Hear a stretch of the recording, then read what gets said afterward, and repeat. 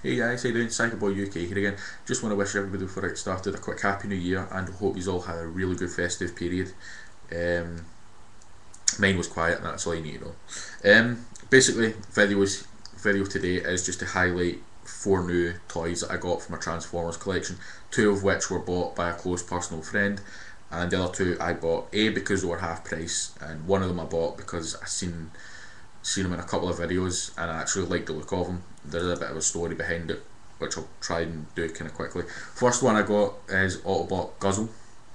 Uh, alt mode is a tank, robot mode looks kind of beastie and badass but at the moment he'll sit on my shelf behind me in alt mode because there isn't a lot of room to have a lot of the toys in robot mode at the moment.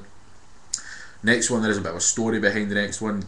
The reason why I bought it was because I seen him in a couple of videos from an old YouTube friend um, who no longer does YouTube videos. Um, I got him purely based upon that and because he looked cool. And the guy that I seen the, the guy's video that I seen him in, he the guy that done the video, he done a competition a few months back with a few of these Transformers um, I actually won a couple of them, but this is one of the ones I did want, but I couldn't get because somebody else won them. So it's uh, Powerglide, which is awesome. That's all I need to say.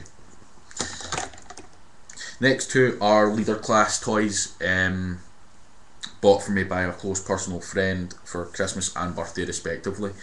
So we'll start off with the one that's sitting in my lap here, which is leader class Sentinel Prime. Got this one for my birthday, um, which is pretty cool after uh, see my mates on and mucking about with it.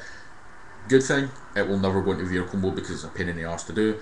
Bad thing, it's not Leonard Nimoy that does the voice. I'm going to go all Sheldon here and say, I want LeonardNimoy.com, not some random ass who does voiceovers. You hear me, Hasbro? Give me Leonard Nimoy and I will be happy. Rant over. Um, the next one is this doodad here, this chap here, which is leader class Ironhide.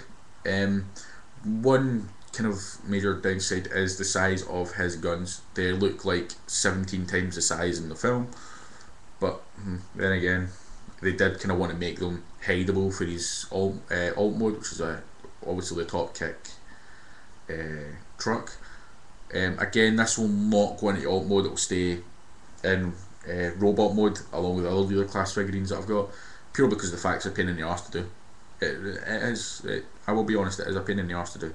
Uh, both leader class figurines will get a, a review in the near future. May not be right away, but it will be in the near future. Um, forgive the clicking there, I was just hiding these shoulder uh, arm guns.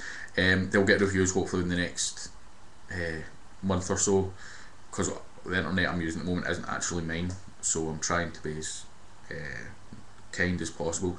But hopefully, try and get reviews up for the two new leader class figurines and Bumblebee leader class in the near future. Um, so for now, thanks for watching. Hope you all had a good new year. Usual links will be in the description along with um, the two chaps that I mentioned in this video. And hopefully, I'll see you again very soon. Thanks for watching and see you later.